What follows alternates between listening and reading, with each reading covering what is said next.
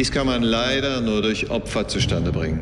Blutigste Blutopfer. Wenn wir das Überleben dieser Welt sichern wollen, muss diese Welt ein nie dagewesenes Schauspiel sehen.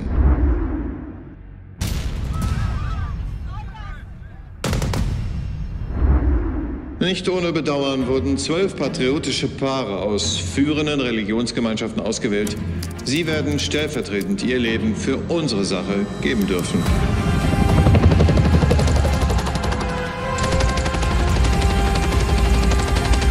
Endstation.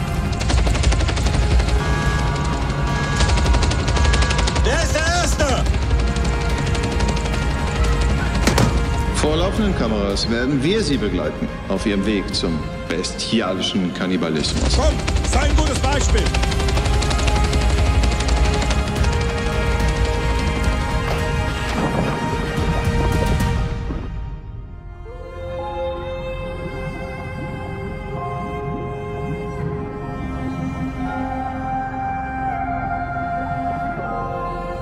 Welcher Krieg der letzten 6000 Jahre kam nicht entweder durch Nationalismus oder aber durch Religionskonflikte zustande?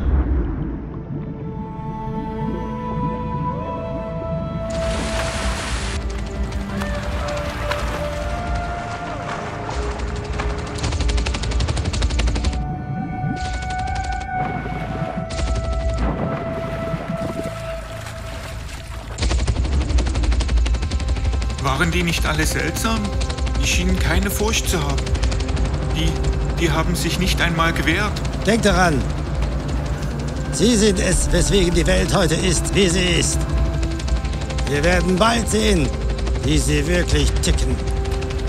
Wie sie wirklich sind und nicht sind.